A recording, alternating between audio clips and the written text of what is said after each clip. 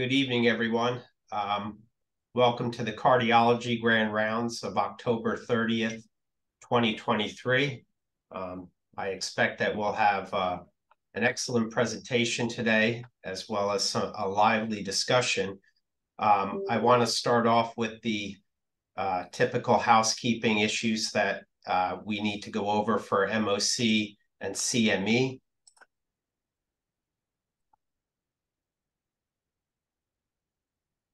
Let me just pull this up.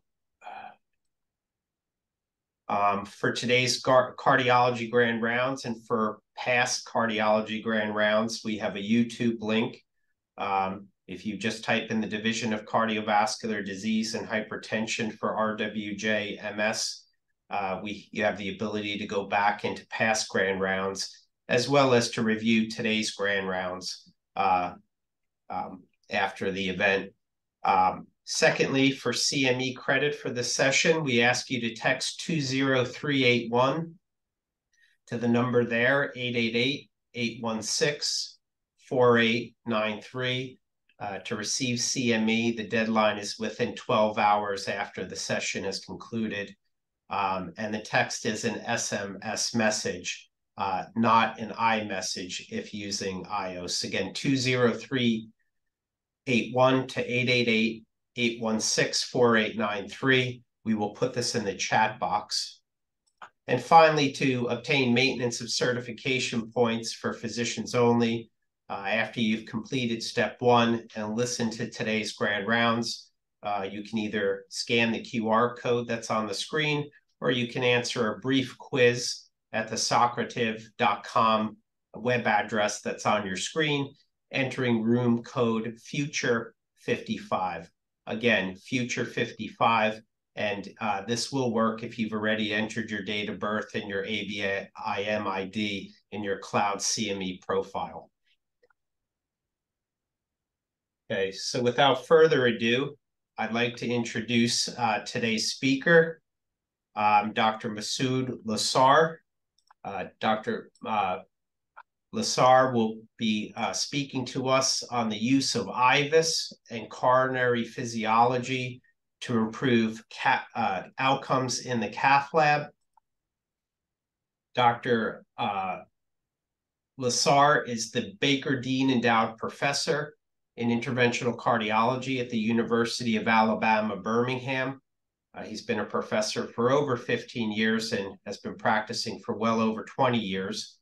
He received his medical degree from Mashhad University of the Medical Sciences in Iran and completed residency trainings at the University of Toronto and Yale School of Medicine in the Waterbury program.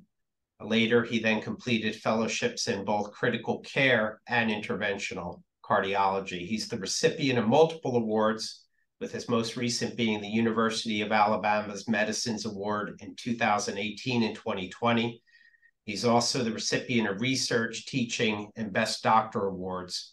Uh, he has a vast research experience, which I'm sure he's going to touch on in today's presentation, and has led many research projects as both PI and co-PI.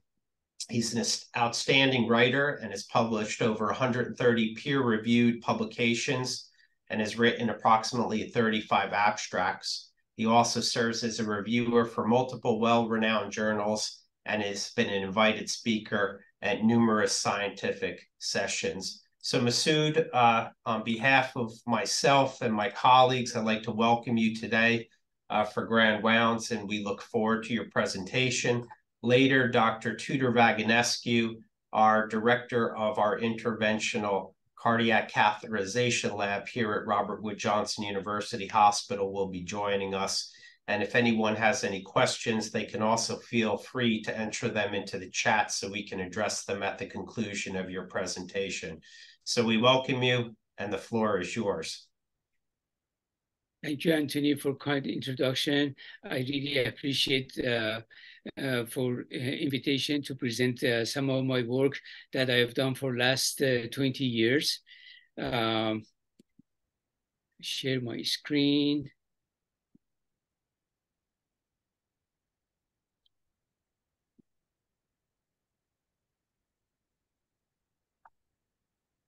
Okay, here we are. Okay, let me do this one.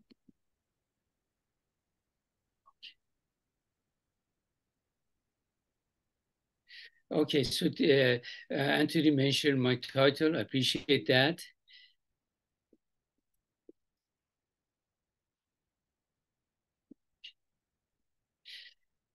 It's my disclosure. So uh, something uh, I going, I'm going to start out with the left main stenosis. You know, uh, uh, many of you know that left main, left main artery is the largest artery and most important artery in the body and, uh, and supplies a significant amount of blood to the heart. And it, it, traditionally, it's been called that left main stenosis is if you have stenosis in the left main, uh, it's more than 50%.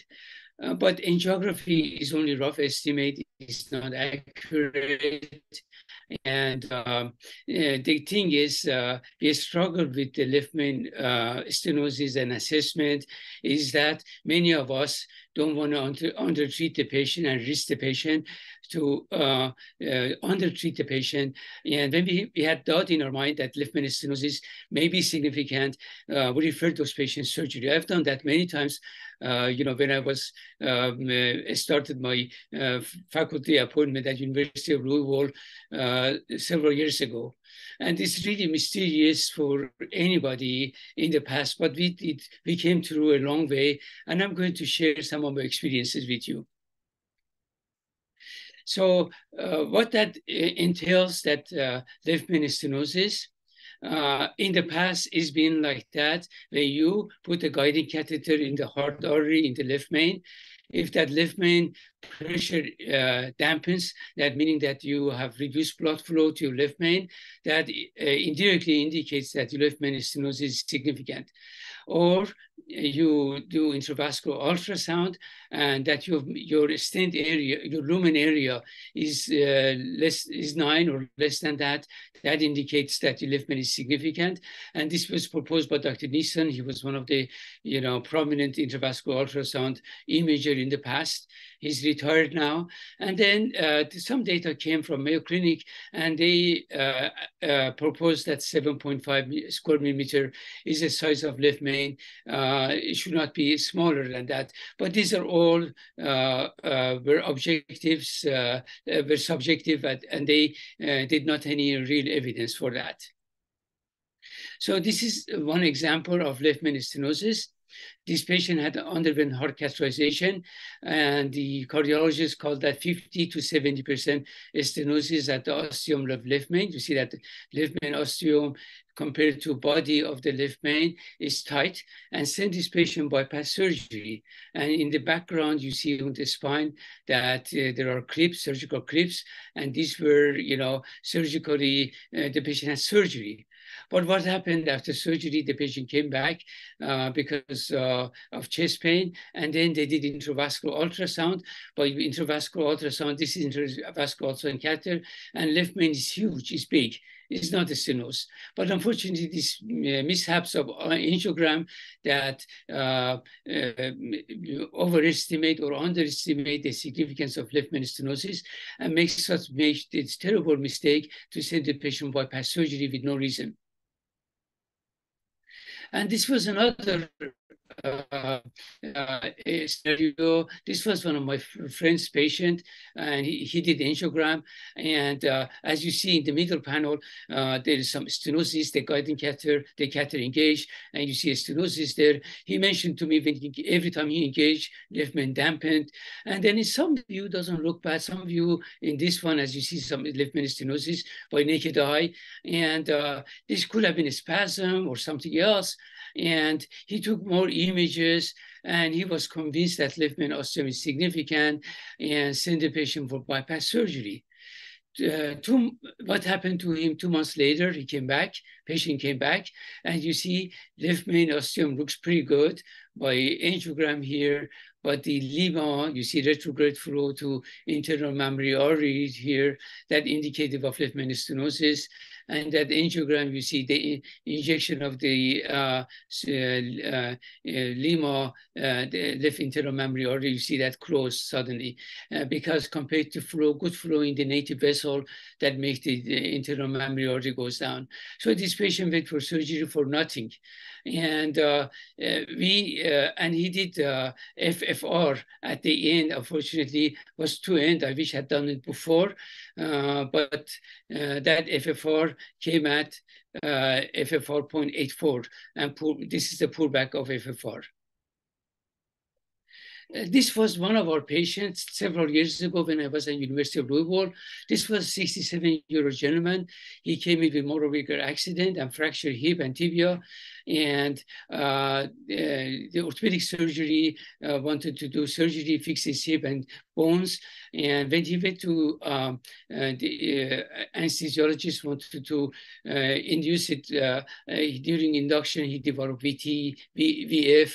They shocked him out of it and they canceled the procedure, extubated him, and sent him to CCU and then they sent it to us for heart catheterization.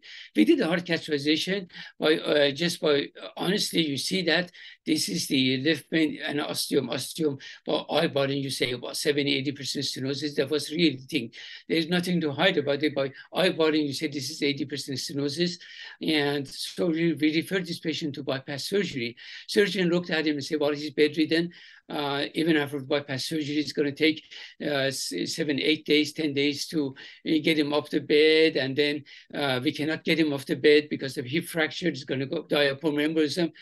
Uh, this is not patient candidate. So they sent him back to us to do PCI, stenting. At that time, stenting of left main really was a big deal. Now we have a lot of trial with left main stenting uh, that showed the outcome of left main stenting with the Excel study is equivalent to bypass surgery. We have a lot of good data, outcome data. At that time, we did not have anything. We did not have Impella, we had balloon pump. So we had to just bite the bullet and do this. Um, but before we do, uh, we, we, go ahead and stent it, uh, it came to my mind, let me, let me do IVUS because I need to do IVUS to assess the lesion and then assess the results. So when I did IVUS, Incidentally, I found that uh, that lumen area is 12.5. It's bigger than 9. It was previously proposed and bigger than 7.5 previously proposed. And also, saw um, this is a wider area. Uh, lumen area is huge, 22.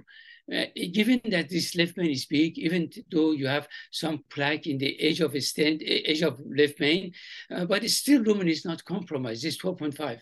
And then uh, we did also fractional flow reserve. We put this pressure wire and measured the flow. Uh, did the FFR. FFR was 0.85. So this, by, by all means, giving two uh, imaging study by FFR and IVUS, I was convinced this patient does not have left stenosis. So why this patient had VTVF? I had no uh, uh, firm explanation, but uh, I postulated a constellation of increased adrenergic response and also hypertensive response during induction could have triggered VTVF. Uh, so I uh, stopped putting left main stenting because really, I didn't feel the left main this patient is ischemic and I spoke to anesthesiologists, I spoke to surgeons and uh, suggested to be start the patient ESMO drip and uh, uh, induce one more time, try one more time. I stood by patient bedside and they did very safely. The patient had surgery and I followed this patient for years afterward with no, no problem. So these things really is eye-opener that, you know, we should know how to deal with left main because it's important artery. It's a small artery. It's, many of them you can treat it medically, but left main is no kidding and you have to uh, be appropriately treat that. And we also noted there's another patient that had a heart catheterization. As you see, this catheter didn't dampen. You see the flushing back. And surprisingly, you saw lumen area by uh, intravascular ultrasound by 4.3. And then pressure wire, uh, when we advanced that, but FF4.63. This is clearly abnormal. So these two uh, cases uh, uh, invest, uh, provoked us to to investigate further to go to bottom line to see when we can say for sure this patient has significant left stenosis or doesn't. For that reason, we put together uh, a study. One study was this, we published this in Circulation 2004 when I was in the University of Louisville we looked at for the first time correlation between fractional flow reserve and intravascular ultrasound for, we call that ambiguous left main. It's really ambiguous. You don't know it's true or false to determine what's the significance of left main stenosis is.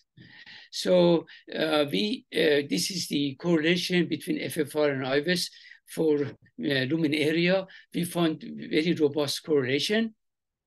And also we found the sweetest spot, cut point, where you can say the left main, you know, IVC, the significant was 5.9 square millimeter um, in the lumen area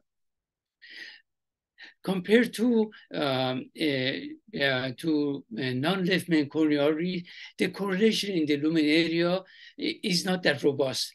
Yeah, that, that this is another study. They looked at correlation between intravascular ultrasound and, and uh, fractional flow reserve in, in left main, non-left main stenosis. They found really uh, correlation was moderate. Uh, sensitivity 69%, specificity 65%. It wasn't above 90% for left main. But is ubiquitous, we? And, and that's, that's a good thing that God gave us, and we can assess this better and treat the patient better. I was so excited about it. And we followed those patients that we did a study uh, for uh, average of 36 months. And uh, we, the ones the patient uh, lumen area of uh, less, less than six, we stented it or sent bypass surgery, majority had bypass surgery, whereas those more than 6-0 had medical management. And there was no difference in outcome. Kaplan-Meier curve showed really there, there's no difference in 36 months of 38 months of follow-up. And then there is another group from Spain, Dr. Hernandez. They corroborated our findings in larger uh, uh, study than ours. They had 354 patients. They followed those patients, the ones that had minimum lumen area of more than six versus less than six. And the ones that had a smaller lumen area, uh, less than six shown in red, uh, they went uh, stenting or bypass surgery. The ones that bigger than lumen area went medical management. And they also corroborated our finding during the finding during two-year follow-up. They saw Kaplan-Meier really overlap. There was no difference in outcome, meaning that you do intravascular ultrasound in these patients and uh, make a decision based on lumen area uh, of the six uh, cut point. Uh, the, uh, these patients will do well with the decision making, meaning that if there is a smaller than six, you do surgery, surgery or stenting greater than six, don't touch him and send the medical management. Uh, this was this was uh, this graph indicating of series of patients, 16 patients. They had uh, lumen area of the sex and they refused surgery. They want to do medical management and they did worse. You see the outcome is worse because uh, a small lumen area of left main is not really a joke and those patients do uh, do worse. Versus, you know, we have a lot of study in ischemia trial, uh, non-left main artery stenosis, even you do medical treatment, they do as well as uh, medical management, but left main really is not surprised. And you see anything like that, lumen area is smaller than six, they do worse, they don't do well. And we were so happy that finally this went to guideline and guideline uh, endorsed that, that patient uh, with left stenosis by IVUS lumen area of six, uh, this patient should go uh, for intravascular ultrasound imaging and make decision about revascularization. And, also, not only intravascular ultrasound help with the decision making uh, that to stenting or not to stenting. In this large study, over 1,000 patients, uh, uh, they studied in Korea. Of the, all, all these patients underwent stenting compared with angiography. This was patient left main stenosis. You see as significant left stenosis, and they have IVUS versus angiography. That showed uh, decision making based angiography to stent the patient they got worse outcome compared to IVUS. And IVUS is a good thing. You can see inside the vessel, but angiography you don't see it. And you make estimate that you have good result, but based on IVUS, you get the uh, excellent result and treat this patient appropriately. And those patients had better outcome. And also caveat about left main, you know, this is for fellows, uh, they sometimes ask this question many times, why we couldn't do just FFR? Why we want to do IVUS?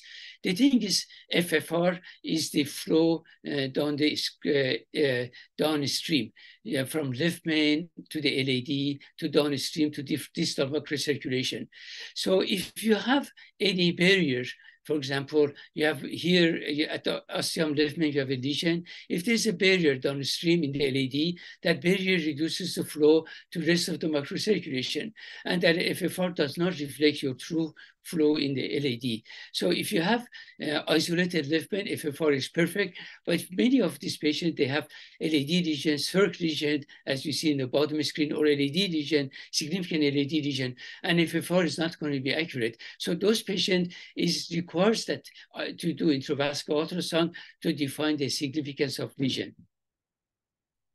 And this particular patient had uh, unstable angina. As you see here, there is a uh, significant lesion in distal left main and posterior AD. So this uh, lesion could not be assessed by uh, FFR. Um, so we did IVUS to de define whether this uh, LAD we knew probably significant, but LAD looks maybe 50%, excuse me, left main look probably 50% not bad. And this view looks maybe 50, 70%, but we want to make sure this left main is significant before we send this patient for bypass surgery. Because if left main is not significant, as you show previous cases, the lima goes down and the patient gets worse outcome. So we did IVUS, and IVUS, you see, this is a left main, uh, lumen area of six. We're, we're at the cut point, that's not significant. Anything less than six is significant. But that LAD lumen area was 2.8 was sure was for sure was significant. So we're dealing with LAD, not left main. We, we uh, uh, successfully went ahead and stented LAD, not the left main and we had good results. So interestingly, you see by angiogram, uh, the LAD looks bigger than left main, left main looks worse, but we didn't leave, left it alone like that. We repeated the IVUS, and IVUS did not change at all. That left main area six, not significant physiologically. LAD looks great. And I think we, we, were convinced this is a very good result.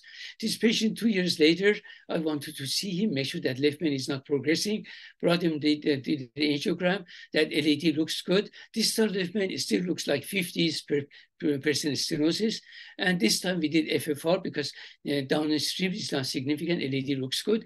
FFR was still good, 8.84, not significant. Uh, we uh, uh, reassured the patient everything is good and continue medical management.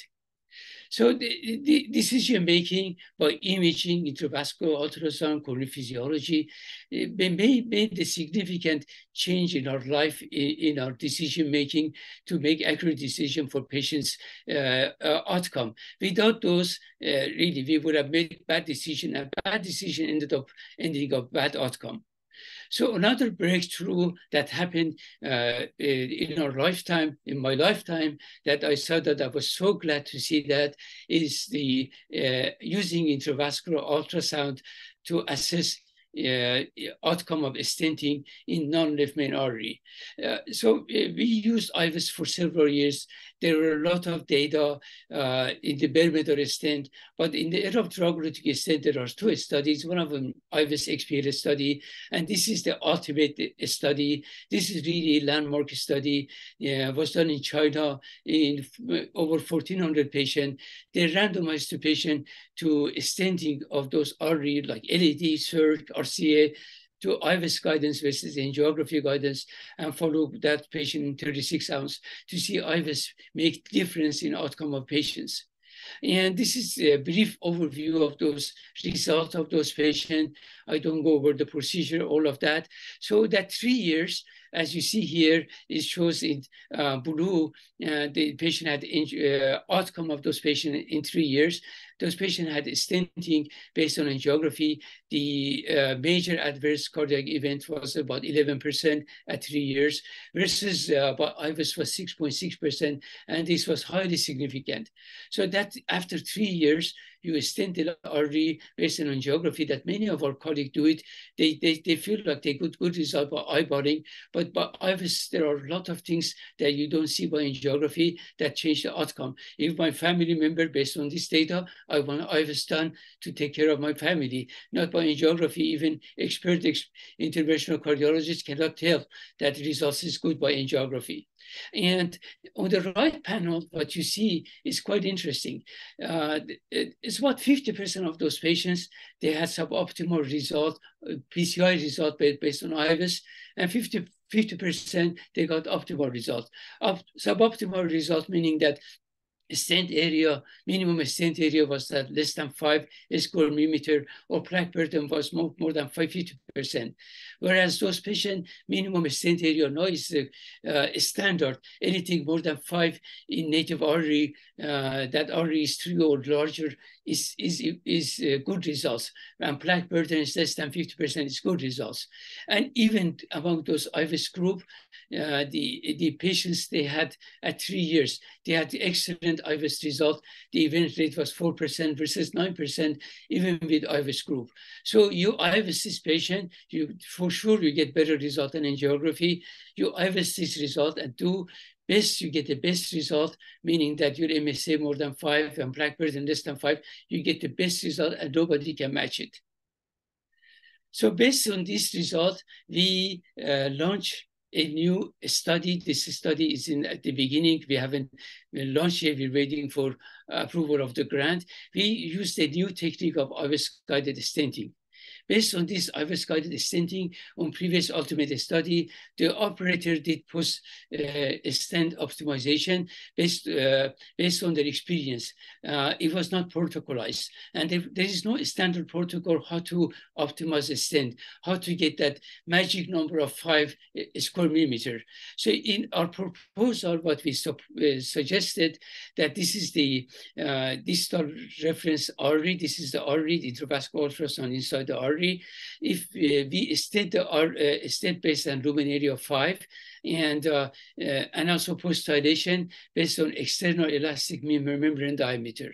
So we deployed a stent, we measured the lesion length and a stent based on lumen area of three uh, diameter and then post dilation but based on 3.5 and then look at final result uh, after you see this uh, plaque this is in the artery if we are satisfied meaning that minimum stent area more than 5 or 5.4 or plaque burden less than 5% we consider this as a good result And uh, and again, reiterate that we want to get minimum, minimum stent area of more than five or 5.5. And this is distal extent age, more uh, less than 50% uh, burden, proximal more than 50% less than 50% plaque burden, but this is really should be good result.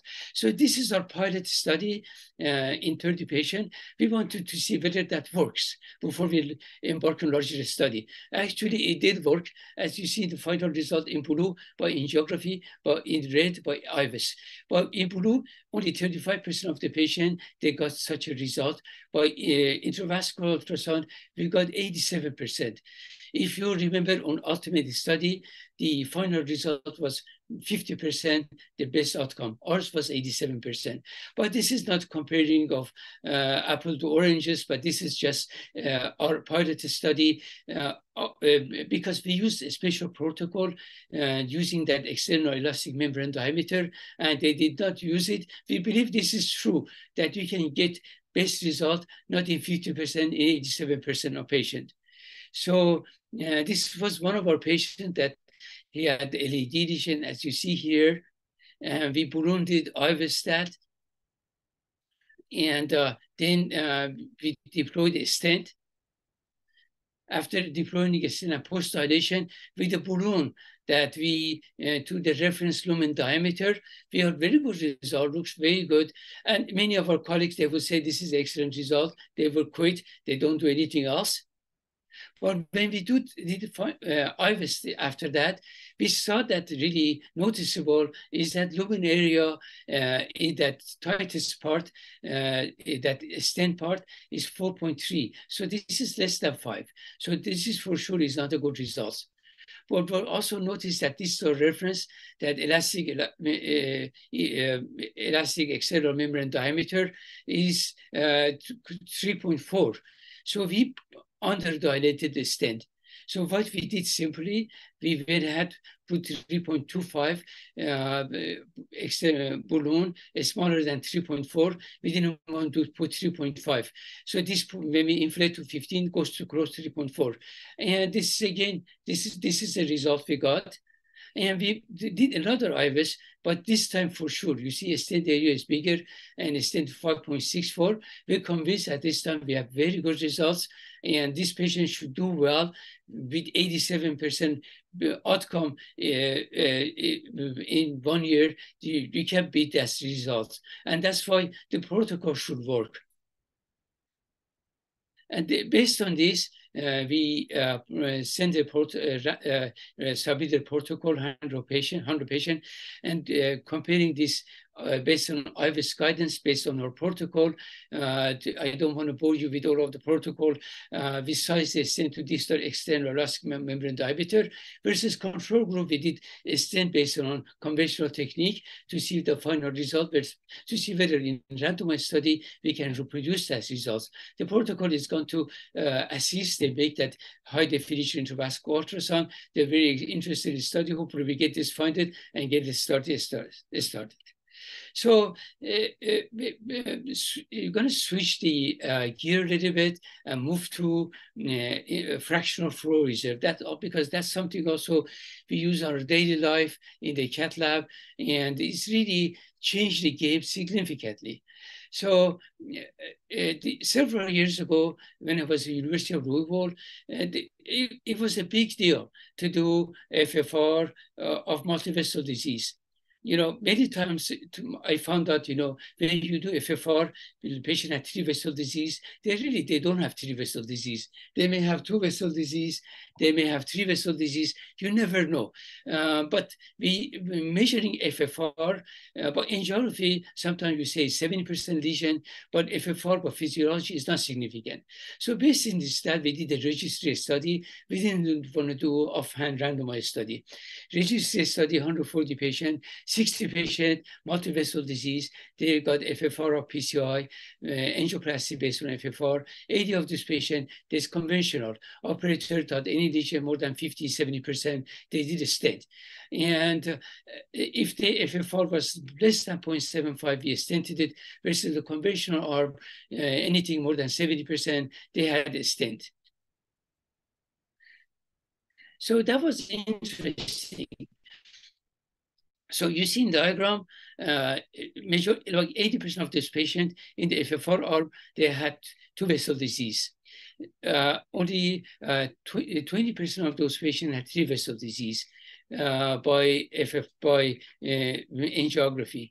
But when we did FFR, as you see eh, by FFR, those lesions we see 70% may not be significant. So it actually, this changed the game that these patients, these folks, like 79%, they had two vessel disease, it turned out to be only one vessel disease. So we don't have to do majority of patients, like 75% of patients had only one vessel disease, not two vessel disease. Angiography fooled us only 9% of those patients had two vessel disease versus 79%. And 16% of those patients had no significant lesion. Three vessel disease, they walked off cath lab with no stenting. And they were disappointed. They should say, oh, no stenting after doing all of this? I said, well, you don't need to stent, you'll do well. Versus in the angiography group, those folks had the angiography group, uh, 72% had two vessel disease, uh, 20, 25% had three vessel disease, even uh, a few of them had four vessel disease, had to extend all of those vessels. But they turned out to be outcome uh, Kaplan-Meier outcome 30 days to 30 months of follow-up, we saw those patients had uh, FFR significantly better outcome compared to those patients had conventional. The, the reason is very clear. You know, some vessels that you they're not significant, you put a stent, they get restenosis, they get MI, and they get poor outcome. But when you're vigilant, you do FFR, the patient do very well. And we also looked at the cost where you put less stent, this patient don't come for restenosis, as you see in this column.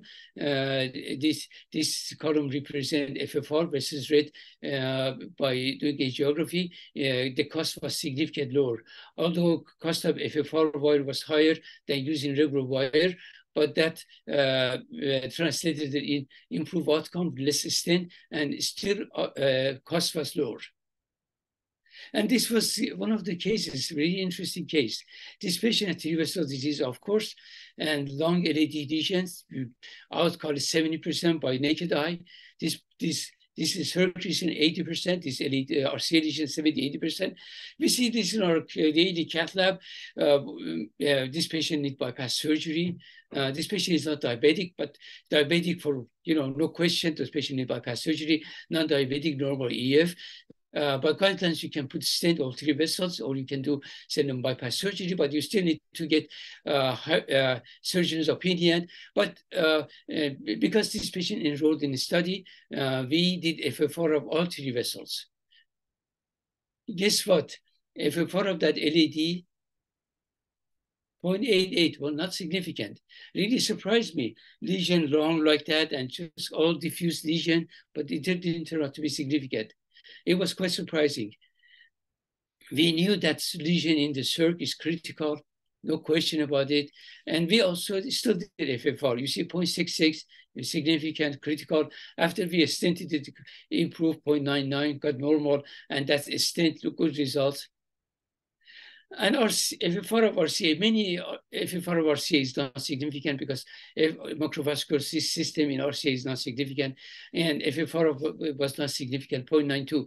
So this patient uh, had only one simple stent, short stent in the circ, and went home with no uh, additional stenting of LAD, no additional of the RCA, no surgery. So really it's a game changer. Based on this data, we launched this trial, famous study that all you know about, heard about it, that you know this is a really famous study, it's a FAME uh, is really FAME. Uh, we gathered investigators Europe and USA, and uh, we uh, designed this study. And this is basically design of a study uh, uh, over 1,000 patients. The patient multiple disease, more, more than 50% stenosis. This time they got randomized 500 patients based on angiography, 500 patients with FFR, and we looked at one-year outcome. And one-year outcome significantly was better you, you see here uh, by uh, uh FFR versus angiography. But the thing is a uh, little bit eye-opener here that we looked at this data. Yeah, that's true. FFR was game changer, improved outcome. Uh, about 40% of those patients did not have a stent, but outcome is better.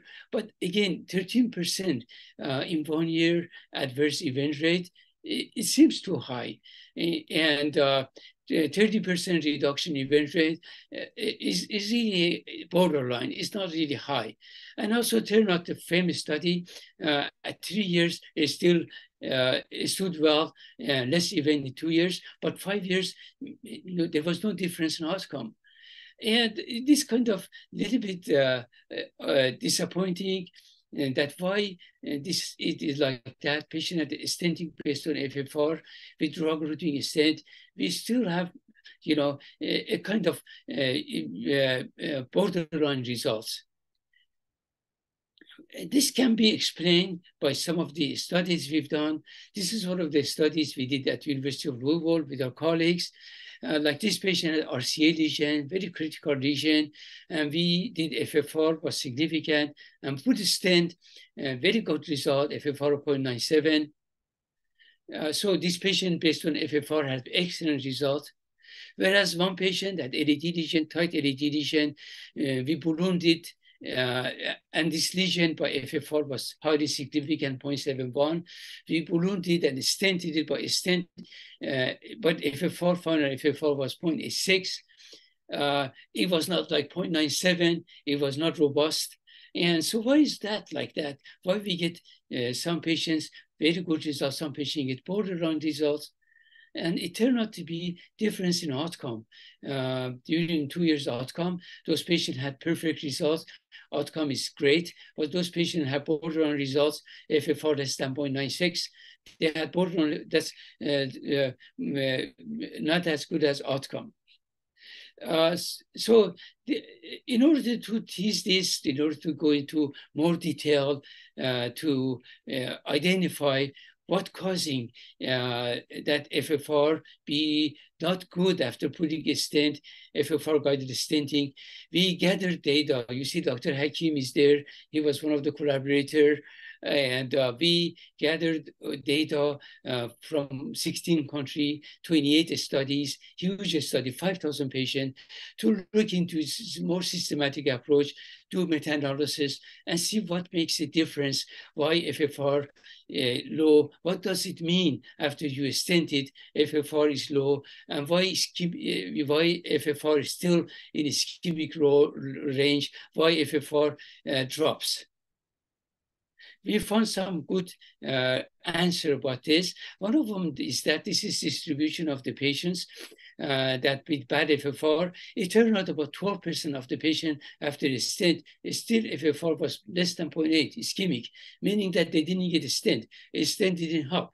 The reason is that a stent didn't expand well or maybe they had lesion distal to stent, uh, and uh, uh, but angiography was not really uh, good enough to, to do that.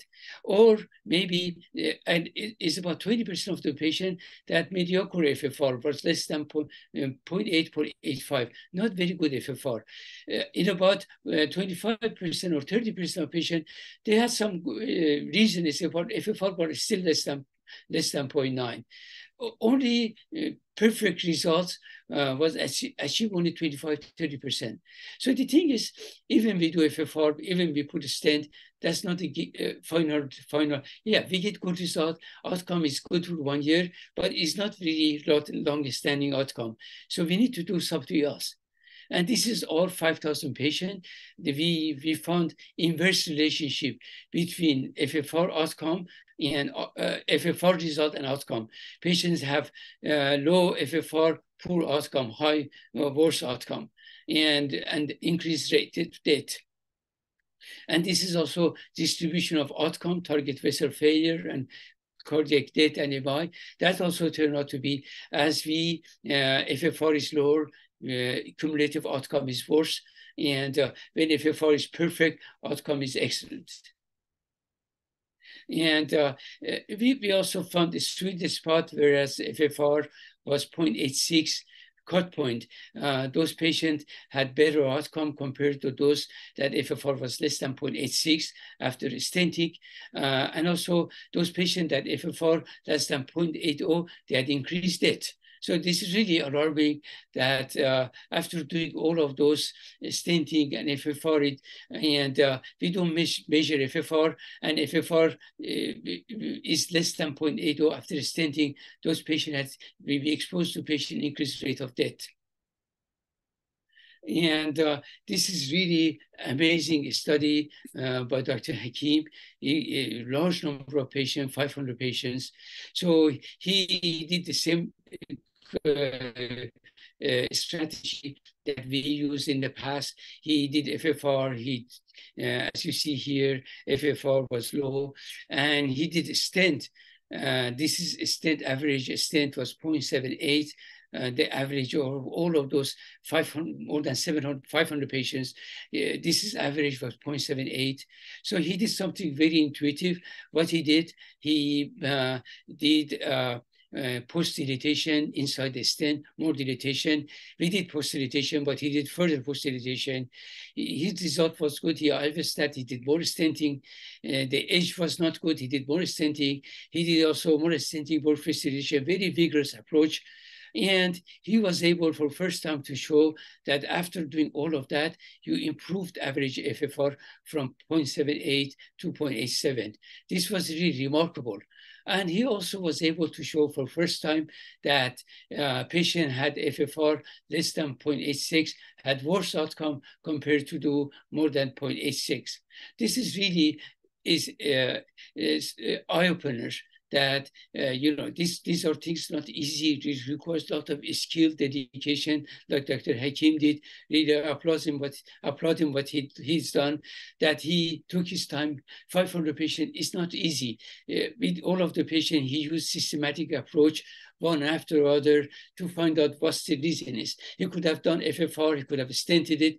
If uh, eyeballing, good results, all done, uh, good result, that patient, uh, follow this patient. But going, going through that famous study, we saw that famous study, a good result, but it wasn't really a robust study. He did something robust, he got excellent results. So in conclusion, uh, uh, ladies and gentlemen, uh, uh, as you looked at it, angiographic assessment of left stenosis inaccurate and sometimes misleading. And IVUS needed to assess the revascularization or uh, continu continuation medical treatment, meaning that you have that left main area is less than six, those patients need bypass surgery or stenting. More than that, don't touch it. Don't assess by angiography. It's misleading as wrong.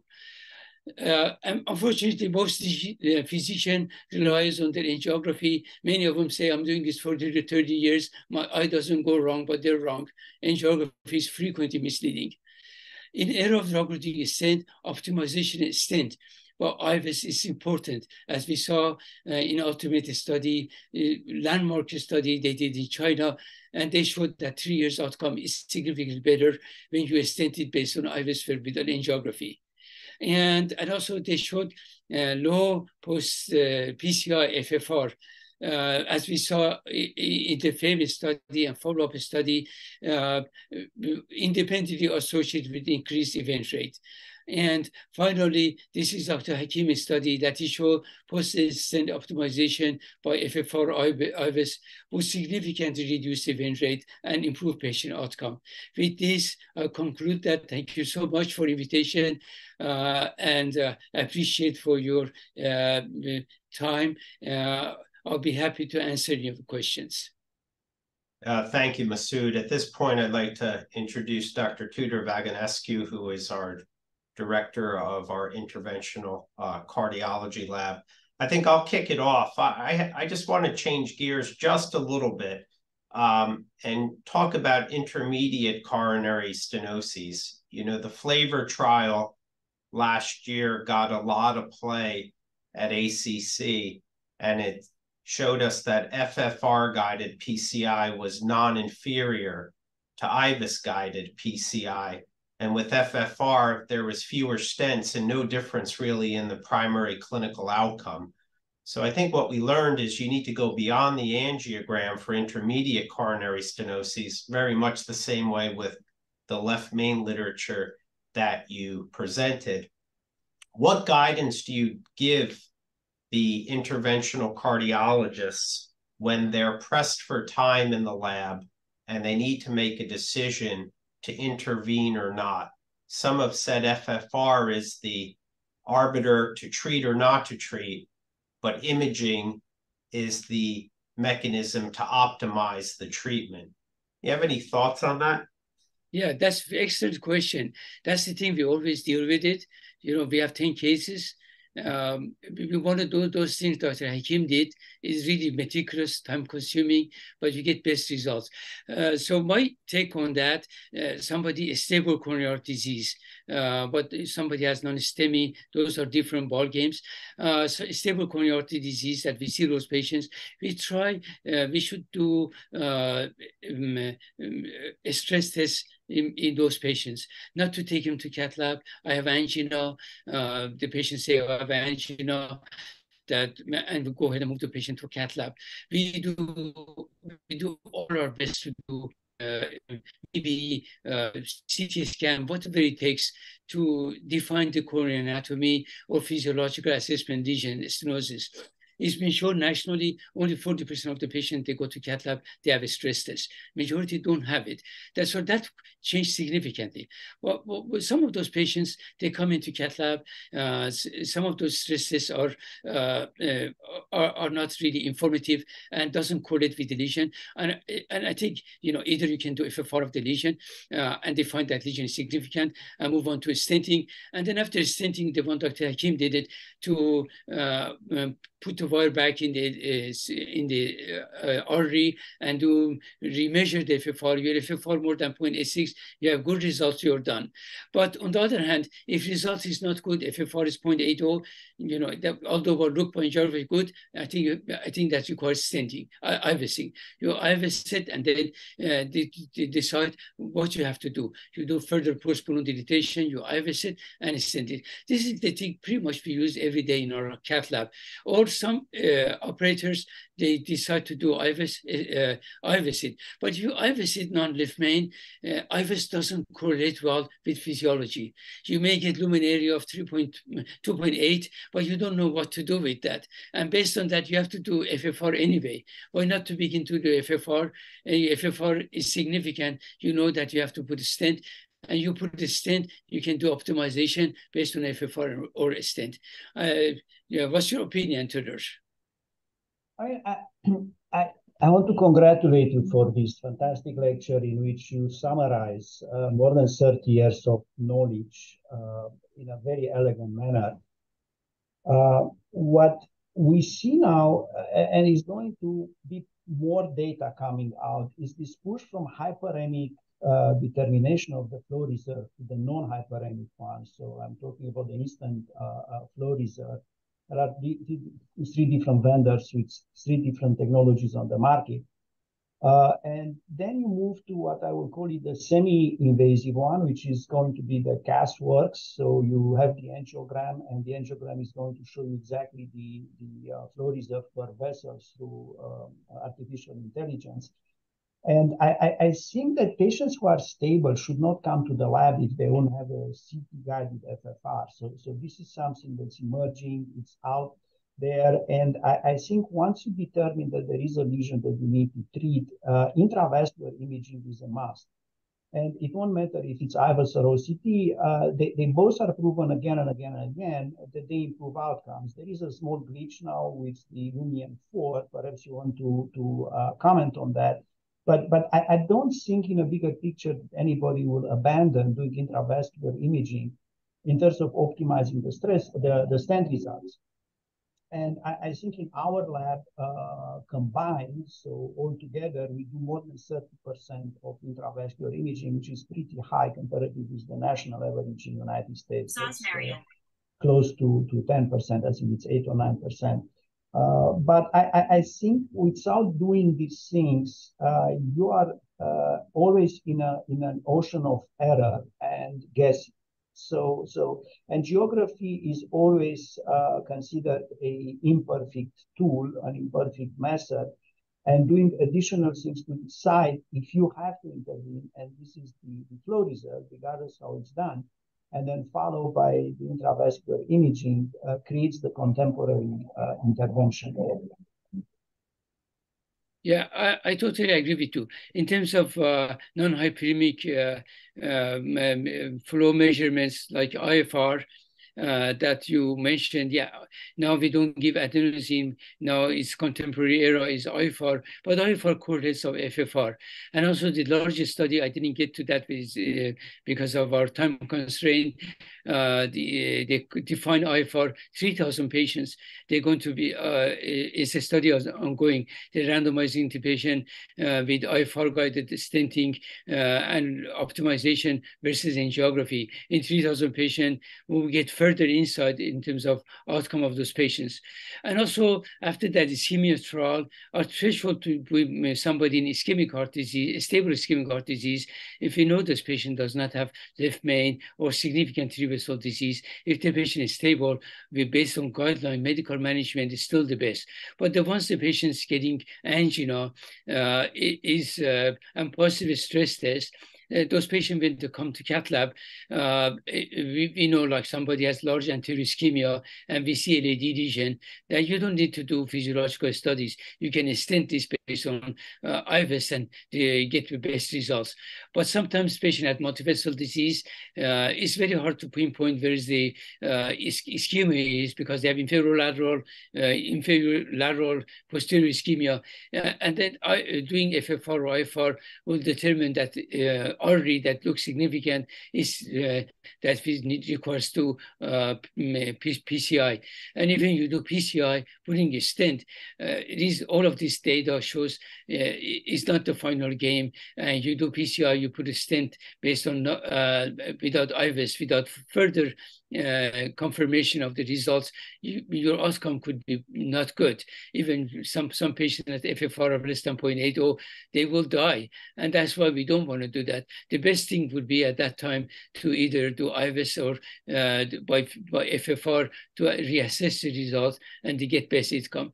Yeah, this is time consuming, but you think all of interventional, they get the culture of doing this in their life would be easier. The cath lab, uh, they get accustomed to this. And when you do this, they get the setup very ready. In our cath lab, it takes three minutes to get everything set up. I'm sure in your cath lab also they like that. In some areas, some countries, their, res their resistance and penetration of FFR and IVUS is low. I heard some of them was 5% because the uh, operators are not comfortable. The cath lab people are not comfortable. It takes some time to, to get the hurdles of the learning curve, and that's why they don't use it. But if you use it, you use it in our everyday or practice, really easy and simple to do. Peter, anything else to add that you'd like? No, as we, we touched everything, uh, it's it's this kind of um, is, is right because it's a culture change when you do these things. It's extremely difficult to get everybody on the same page, on the same common denominator that you should do these things. And uh, I remember uh, when when we first started here um, and we start doing these these things, people looked at oh it's very time consuming, and it is because it takes lots of um, you know dedication. We usually measure ourselves uh, uh the the um, um, images that we have, and we decide what to do, and we do multiple runs per case. That's why we do uh, most of the time uh, of OCT because we want to save the dye. But I, I, think the reward is that the patients uh, in the end don't come back with uh, with uh, stent thrombosis, which is catastrophic. Patients stay very long out of in-stent restenosis. You have a very good result. Um, and I think from the logistical point of view, the only understanding on the on the administrative side is that this case is last a little bit longer. So you cannot expect that they move past the moment when you start uh, doing intravascular ultrasound or, or OCT. So that's going to add a little bit of the case. But the moment when the, the, the staff is comfortable and the operators um, agree, it's a, it's a you know um, kind of general agreement that certain lesions are going to be to be instrumented in this way. For instance, all left mains um, or chronic total occlusions, most of the MIs, the acute coronary syndromes, then then it becomes a culture of the lab. And I was surprised when uh, when the companies told me that our lab is uh, within the first eight hospitals in the United States use of intravascular ultrasound. It's one of the, the highest levels. I mean, it's it's a par level that the first eight hospitals have in terms of uh, of intravascular ultrasound use. Yeah, I agree with you. Tudor application of this uh, requires uh, uh, learning curve. And here's the fact. Uh, there was a survey from Dr. Gary Mintz he published this in editorial. Dr. Gary Mintz is one of the biggest in the country's famous IVUS guy. I'm just telling for, you know, non-interventionist uh, from audience. He's one of the most famous uh, uh, intravascular imaging guy. Uh, there was a survey from him in, in his editorial. He says about 50% uh, of interventional uh, fellows, they graduate, they're not familiar with IVUS. They don't know how to interpret the IVUS and apply that IVUS in practice. So I think this is incumbent on us as a teaching institution to teach our fellows. Not 50%, at least 80% of them get 90% get them trained uh, in, in intravascular imaging physiology. And when they go uh, outside, they, they uh, embrace this practice. But if they don't learn, they don't do that, and then vicious cycle continues. Like many cardiologists, I, I agree with you, they don't do routine FFR, they don't do routine IVUS because they think it's time consuming, they think it doesn't change their practice. But now with more data uh, that is their long-term events of uh, outcome of FAME2 study, ischemia study, all of them they see, they, they see the role for uh, physiology and intravascular imaging. And they're getting gradually used to it and they're doing more as compared in the past. Now FFR is class one indication uh, by ACHA guidelines. So if you stented the lesion without doing FFR, uh, that's really against guideline. And patient gets stent thrombosis, you know, they, they, that cardiologist will be in trouble. They know about this. So that's really incumbent on them to do that. For our teaching institution, uh, it's incumbent on us to teach fellows uh, not to be in 50% range, be 80, 90% range, to learn fully and apply this and improve patient outcome. And that's also important to do that. You know, the patient is our family member to get the best result, best outcome. Yeah, it may take 30 minutes longer, but so what? That's a good thing to do to get better result, better outcome, as Dr. Hakim did. Well said, Masood. This is putting evidence-based medicine into practice and, and teaching the next generation of interventional cardiologists the need to learn this skill set uh, to ensure those outcomes. So I'd like to thank you, Masood, for uh, an invigorating conversation. We, we appreciate you coming uh, and uh, enlightening us today um, on IVUS and FFR, uh, particularly in left main disease. And uh, at this point in time, I'll close today's grand rounds. Thank you, everyone, for attending. And please uh, make sure you text the number for your CME and answer the question for your MOC points. Good night, and thank you, everyone. Bye. Thank you very much.